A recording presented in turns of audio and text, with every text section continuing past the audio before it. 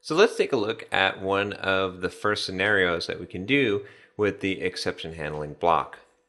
The first scenario that we had talked about in the previous module was wrapping. And we can do wrapping very easily just by changing configuration. We're not actually going to have to change any of this code. So in this scenario, you can see that we're throwing just this general exception and we're giving it a message of my basic exception. Well, let's suppose that we don't want to throw a general exception here, or maybe this is an IO exception or a SQL exception or some kind of low level exception. But instead, at this point, we want to process this exception and wrap it and hide the low level exception in a bigger exception, maybe an application exception. We can do that very easily without changing any code just by changing the configuration. So I'm going to go into our configuration here. And we're going to change it so that this policy that we had set up for all exceptions is going to have a handler. So we'll just add our handler here. And we're going to add this wrap handler. Now, we're going to give a message here. We're going to say this is a wrapped exception. And then for this wrapped exception, we're going to go ahead and choose an application exception. So now what's going to happen here is our exception that's thrown is actually going to be set to the inner exception of this application exception that's going to have a message of this is a wrapped exception. So I'll go ahead and save this. And we'll go back into our code here and we'll run it. And you can see here we've gotten to the throwing an exception. So I'll go ahead and hit F5 to run further.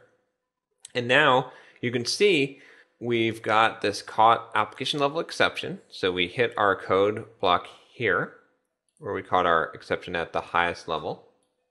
And then we've actually just still hit the system exception, my basic exception. We haven't wrapped it. So what's going on here? Well, I wanted to show you this because this is a pretty common mistake. We need to make sure that in our configuration that we change the default here. So the default, you can see, is set up on our exceptions for the post handle to do a notify rethrow. This does not automatically throw your new exception type. What this is used for is when we manually handle the exception. There's another method that we can call instead of process called handle exception, and we can use this to determine whether or not we need to rethrow. In the cases where we're using process, most of the time we just want to use throw new exception. So if I save this now, and we run, we should see the correct behavior. So we've hit our exception. I've hit F5 here. And now you can see that we have a different message that has been put out here. We caught our application level exception, but this time we actually have wrapped our exception.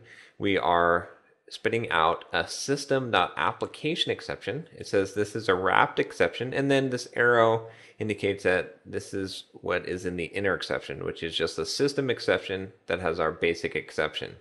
And you can see both stack traces are included here. So if we look at this inner exception, stack trace first, you see it's happening out of my exceptional code. And then that's the end of the inner stack trace here. And you can see that this other stack is happening inside the exception policy intentional I rethrow. So this new exception that's wrapped, this wrapped exception is being created inside of the exception handling block.